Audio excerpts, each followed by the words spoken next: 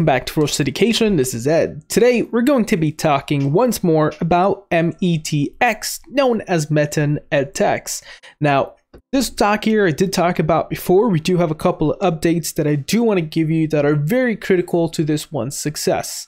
So, basically, if you've never heard about METX, it's a Chinese stock that primarily focuses on delivering English language and future skills training for Chinese students and professionals. So they have three main different industry services, so or brands. So Meten, which is an adult and junior ELT services, ABC, which is primarily a junior ELT services, and Likeshuo, which is an online ELT services. Now, they did do a reverse merger with EdTech, and that's why you have the Meten dash EdTech or hyphen EdTech. And this company here is currently trying to diversify into cryptocurrency. So, coming in fresh out of the press today, Meten Holdings Group Limited to establish a joint venture with industry experts to create a cryptocurrency mining company. So, basically, they seen the stock market and said, hey, let's actually just go on and create a cryptocurrency and I'll tell you exactly why, or create an industry uh, tapping or a company tapping into the cryptocurrency industry, and I'll explain exactly why they're doing that. That's not more of an evolving kind of mechanism, but more of a survival mechanism. And if successful, they definitely can survive. So, first off, right onto here, they announced that they had entered an agreement uh, with one of the leading companies to go on with industry experts to establish a joint venture specializing in research and development and production and sales of cryptocurrency mining equipment. And that agreement was signed on December 20th. The industry experts have extensive experience, diversified background, and proven track record in cryptocurrency and blockchain industry. The vice president of Hummingbird Mining Machine is an expert in cryptocurrency mining and has rich resources and experience in the development and supply chain of cryptocurrency mining machines.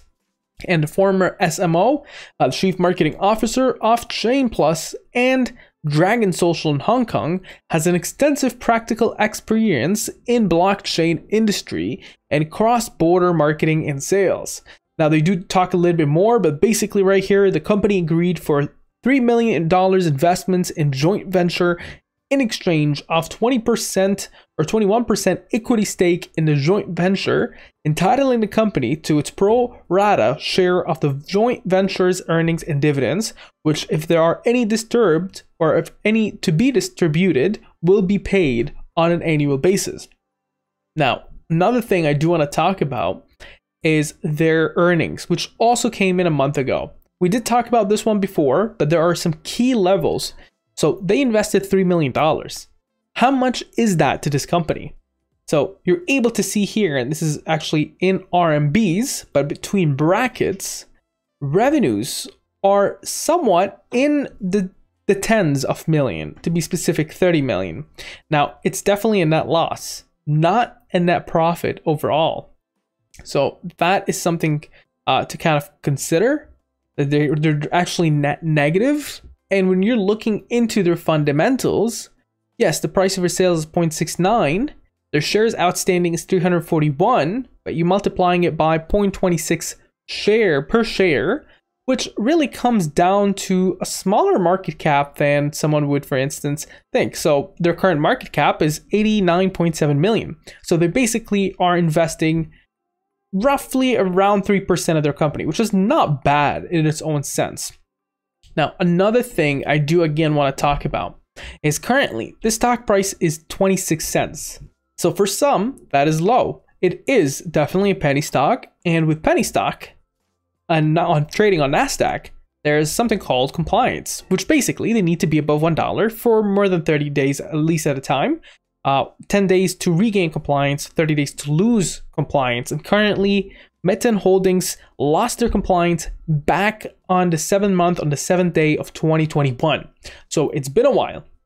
And speaking of which, I did go back and try to find the compliance uh, paragraph. And right on here, they did receive on July 14th, uh, they mentioned that they did receive from NASDAQ the compliance or for 180 days or until January 3rd, 2022 to regain compliance to regain compliance, the company needs to at least have a closing bid of around more than $1 for a minimum of 10 consecutive business days. In the event that the company does not regain compliance by January 3rd, 2022, the company may be eligible for additional time to regain compliance or may face delisting. So, one of three things are going to happen with this one.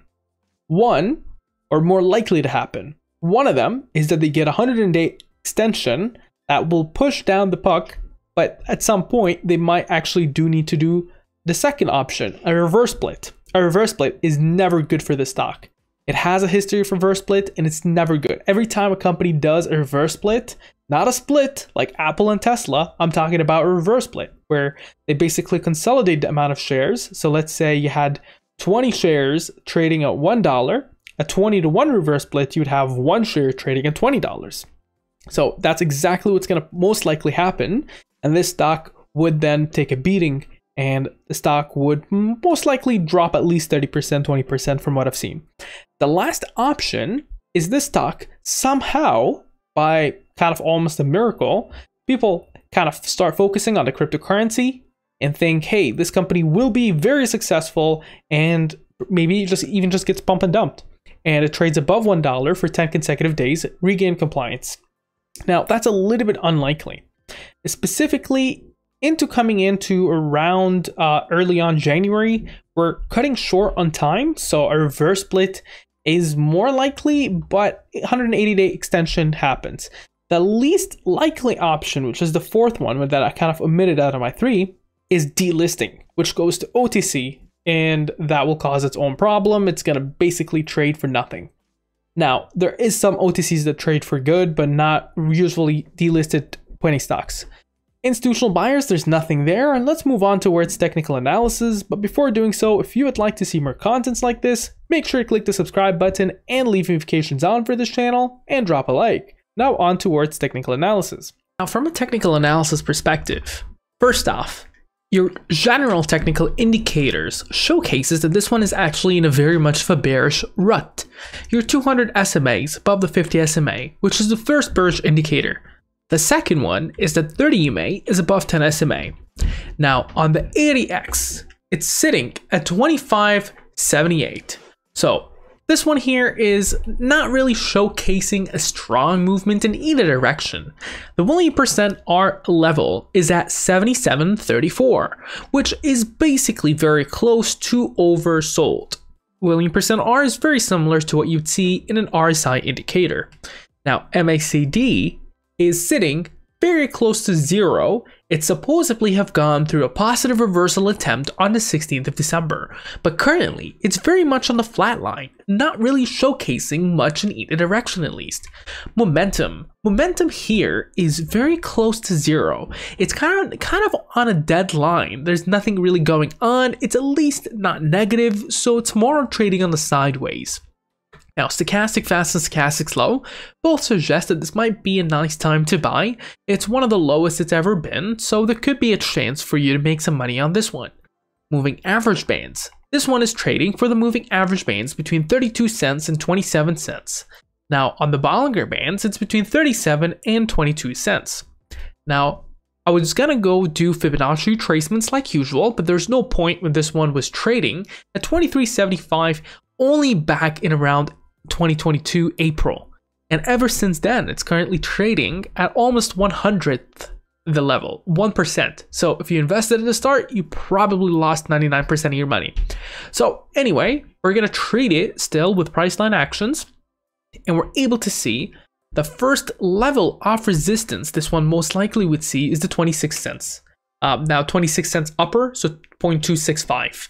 After that, you're looking at 0.29 and then 0.32 and then upwards to around 0.38 followed by 0.46 0.50 going up to 0.57 0.61 0.65 0.69 and 0.74 in terms of supports we're seeing one at 26 cents 25 cents and down to around 24 cents and then comes to the question, Ed, what do you think is going to happen next? Now, in terms of analyst ratings, we don't have any at this level. But what I think is going to happen here, as I, I mentioned about the reverse split or uh, the bullish news perhaps spiking it up, but it did attempt to do that before and it failed multiple times before. So, in order to get that bullish quarter news and move on to just regaining compliance by the price point, it needs to at least jump around 500%. And it's more likely that the stock will do a high reverse split.